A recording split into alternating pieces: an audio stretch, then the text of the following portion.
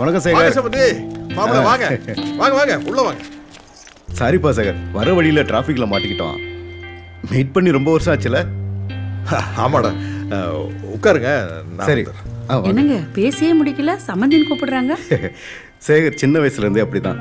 ஒரு விஷயத்தை முடிவு பண்ணிட்டானா அதுக்கப்புறம் பேசுறதுக்கு எதுவுமே இல்லை. ரொம்ப ஸ்ட்ரெயிட் ஃபார்வர்ட் வாங்க. என்னடி பண்ணிட்டு இருக்க? போய் பொண்ணு ரெடி பண்ணிட்டு வா. யாருங்க இவங்களா என்ன விஷயம்? என்ன நடக்குதுங்க? சொல்லி இல்ல வா. அந்த கட்டம் போட்ட சட்டை இருக்கானே அவன் தான் மாப்பிள்ள பக்கத்துல இருக்கிற பாஸ்கர் என்னோட ஃப்ரெண்டு நமக்கு சம்மந்தியா வர போறான். என்னங்க நீங்க? கொஞ்சம் உள்ள வாங்க.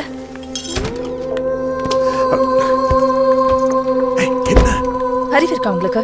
காலேஜ் போறவளை நிறுத்திட்டு யாராவது கல்யாணம் பண்ணி வைப்பாங்களா? காலேஜ் போறவள் நிறுத்திட்டு இல்ல. கண்டவனோட பைக்ல போறவள் நிறுத்திட்டு தான் கல்யாணம் பண்றேன். பொறுப்புள்ள எந்த அப்பனா இருந்தாலும் இதைத்தான் பண்ணுவான் அதான் அப்படி எதுவும் இல்லைன்னு நான் சொன்னல கட்டின பொண்டாட்டியும் பெத்த பொண்ணையும் நம்ப மாட்டீங்களா? நான் கட்டினதை நம்ப மாட்டேன் பெத்ததையும் நம்ப மாட்டேன். கண்ணால பார்த்ததை மட்டும்தான் நம்புவேன். நம்பணுங்க. நம்பணும். ஏன்? நாங்க நம்பல? நீங்க ஏழு வருஷம் சிங்கப்பூர்ல இருந்தீங்க. நாங்க உங்களை சந்தேகப்பட்டோமா? சொல்லுங்க.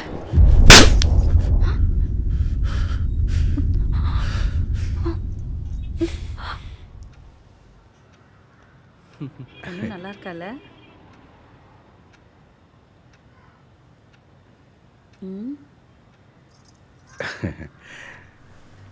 சேகர் எங்க எல்லாருக்கும் பொண்ணு ரொம்ப பிடிச்சிருக்குப்பா. படிப்பு முடிஞ்ச உடனே கல்யாணத்தை வச்சுக்கலாம். அவ படிச்சு முடிச்சுட்டு கலெக்டர் ஆக போறா? உன் வீட்டில் தானே வந்திருக்க போறா? அதுக்கு அந்த கருமத்தை முடிச்சா என்ன முடிக்கலன்னா என்ன?